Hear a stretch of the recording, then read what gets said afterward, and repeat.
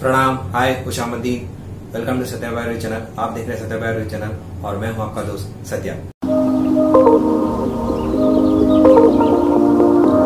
जी हाँ दोस्तों, आज हम रिव्यू करने वाले एक नए पिक्चर के बारे में जो हाल ही में रिलीज़ हुए पिक्चर का नाम है चपाक जी हाँ दोस्तों, ये पिक्चर जो है चपाक नाम जरा कुछ हटके है, और जैसे पिक्चर एक बायोग्राफी में बेस है, जिनका मैं, जिनका नाम है लक्ष्मी अग्रवाल। उनके साथ, ज़िंदगी में ऐसे हादसा हुआ था, जिसके कारण उनकी पूरी ज़िंदगी बदल गई थी। वो एसिड अटैक उसी कहानी पे बेस है ये पिक्चर पूरी तरह। दीपिका पादुकोण, जो बॉलीवुड में काफ़ी फ़ेमस एक्टर्स है, उन्होंने इस पिक्चर में लक्ष्मी अग्रवाल का रोल निभाया है। और जी हाँ दोस्तों एक नाम, मालती नाम के कैरेक्टर में। बाकी इस पिक्चर को डायरेक्टर ने काफ़ी अच्छे से डायरेक्ट किया है, काफ़ी अच्छे प्रेजेंट किया है।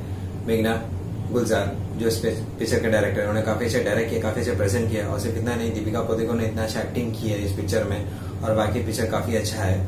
और दीपिका पादुकोण ने काफ़ी, उन्होंने मेहनत की है, और काफ़ी उस कैरेक्टर ने फील करके उन्होंने इस पिक्चर को एक्टिंग किया है, इसमें दिखाई देता है, उनकी पूरी मेहनत दिखाई देता है। मेकअप तो एक बाजू है, पर जब जरा सोच के देखिए, ये तो सिर्फ़ एक एक्टिंग है। जब उनके साथ जिनके साथ ये हादसा हुआ था, लक्ष्मी अग्रवाल, जो उनके साथ जो हादसा हुआ था तो उन्हें कैसा महसूस हुआ होगा?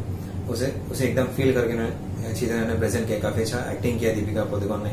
सिर्फ़ इतना नहीं, उन्होंने पिक्चर को प्रोड्यूस भी किए हैं। और बाकी सपोर्टिंग एक्टर्स जैसे विक्रांत मेसी, काफ़ी काफ़ी अच्छे सपोर्टिंग एक्टर्स है। क्योंकि एक एनजीओ एनजीओ होते हैं इस पिक्चर में। और जब दीपिका पादुकोण जैसे हादसे से काफ़ी गुजरती है, और उन्हें आखिरी में एक एनजीओ में जाके देखती है, जो उनकी तरह ज़िंदगी में जो प्रभावित लोग हैं, उनसे जाके मिलती है, और उन्हें उत्साहित करती है प्रोत्साहित करती है ताकि वो आगे बढ़े ज़िंदगी में। जो हुआ, सो हुआ। और ज़िंदगी में आगे आगे की सोचे और आगे बढ़े। इस तरह वो एक लोगों की तरक्की के लिए सपोर्ट करती है। और इस पिक्चर में जो इन्हें काफ़ी कोत कचेरी के धक्के खाने पड़ते हैं और काफ़ी लोगों के ताने भी सुनने पड़ते हैं। कोई जगन का मज़ाक उड़ाया जाता है, कोई इन्हें देख के डरते हैं। इस तरह भी होता है।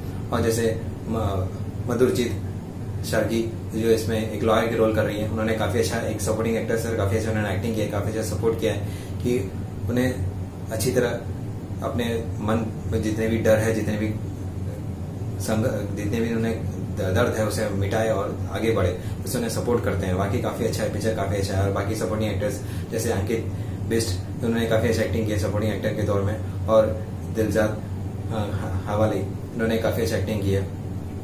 इन्होंने काफ़ी अच्छी एक्टिंग की है, जो अपने अपने सपोर्टिंग एक्टर्स को जो जो रोल दिया है उन्होंने काफ़ी अच्छा एक्टिंग किया है। बाकी पिक्चर काफ़ी अच्छा है, मैं तो पाँच में चार स्टार दूँगा और बाकी पिक्चर काफ़ी अच्छा है, परिवार के साथ देखने लायक है।